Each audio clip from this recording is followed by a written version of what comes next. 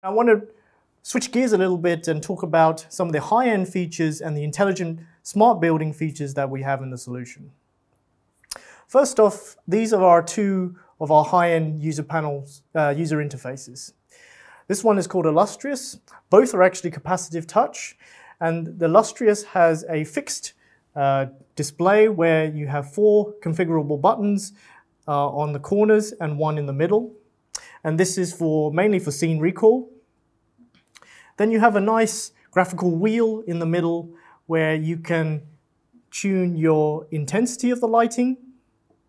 And also this one does tunable white as well. So you can adjust the color temperature of your lighting using the capacitive touch wheel. Illustrious comes in a few different flavors. This is a white version and it also comes in a, in a black version. And you can just have intensity wheel, intensity plus color temperature, or intensity plus full RGB color control.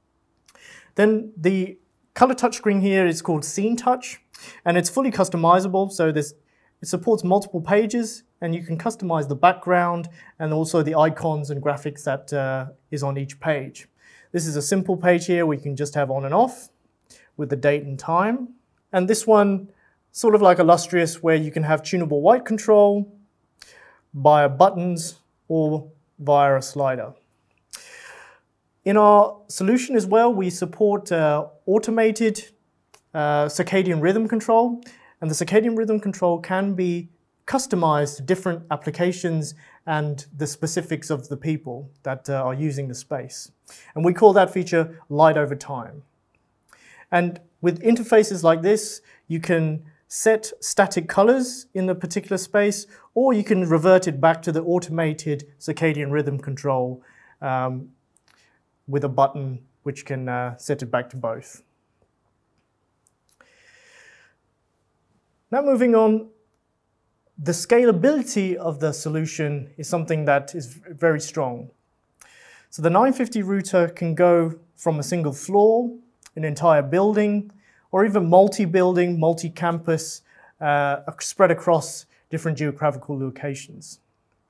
We can also interface with the building management system, for example, BACnet integration. And we can also interface with our digital uh, intelligent platform, which we call Helvar Insights. This is our essentially our DALI 2 wired solution. We also have a wireless solution called ActiveAhead. And both platforms, the wired and wireless, is supported in the digital intelligent platform. And now I'll switch over to the demo and show you what that actually looks like and what's the key benefits.